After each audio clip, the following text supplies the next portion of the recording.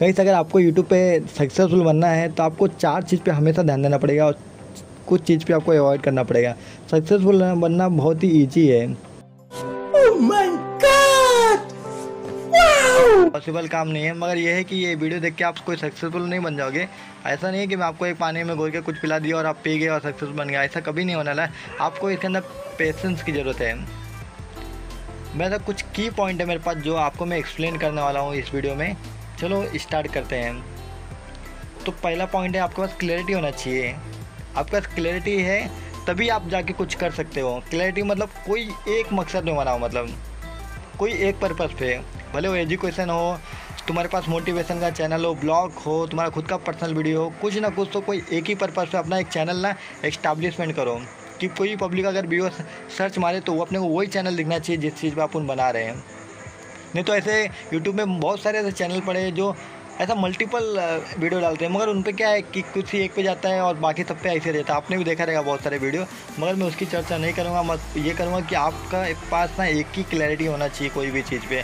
और दूसरी चीज़, आपके पास ना कंसिस्टेंसी होनी चाहिए गाइस कंसिस्टेंसी है ना आपके पास तो आप कुछ भी, कोई भी काम ना इम्पॉसिबल से ना पॉसिबिलिटी कर लोगे। ये मैं हंड्रेड परसेंट गारंटी आपको देता हूँ। आपको कंसिस्टेंसी आपको अपने पे हर टाइम पे एक वीडियो को अपलोडिंग करना हर हफ़्ते हर दो तीन दिन में, ये आपको हर टाइम पे ना एक रिमेंबर करना है कि नहीं अगर आप अपलोड नहीं करोगे तो जो आपके व्यूअर रहेंगे ना, उनको भी बहुत बड़ा झटका लगेगा कि यार यार, नहीं यार, ये इंसान मतलब मेरे कहने का मतलब है कि यार वो भी आपसे एक्सेप्ट कर रहा है ना आपका, कोई भी आपका व्यूअर रहेगा आपसे एक्सेप्ट करेगा तो ये चीज़ करना बहुत ज़्यादा ज़रूरी है। और मैनेजमेंट अगर आपका टाइम मैनेजमेंट नहीं है तो आप ज़िंदगी में अनसक्सेसफुल हमेशा रहोगे। मैं आपको एक पेपर पे लिख कर दे सकता हूँ कि आप, अगर आपने अभी भी टाइम मैनेजमेंट को नहीं समझ पाया है तो आप हर टाइम पे आपको कहीं ना कहीं ठोकर मिलती रहेगी। तो टाइम मैनेजमेंट समझना आपको बहुत ज़्यादा ज़रूरी है कि मुझे किस टाइम पे क्या करना है और कैसे करना है। तो ये अप्लाई ना यूट्यूब पे भी करता है। आपको बता दूँ कि ये अप्लाई हंड्रेड परसेंट करता है। आपको ना इस चीज़ पे ना आपका एक रूटीन बनाना पड़ेगा। और यही रूटीन को ना आपको सेट करना पड़ेगा। नहीं चौथी चीज़ आपको हरदम अपडेट रहना पड़ेगा कि क्या चल रहा है आज के डेट में। अगर आप उस पर फोकस कर ले रहे हो, अगर आपको उस चीज़ पे अगर ऑब्जर्वेशन सही है तो आप हंड्रेड परसेंट सक्सेसफुल बनोगे।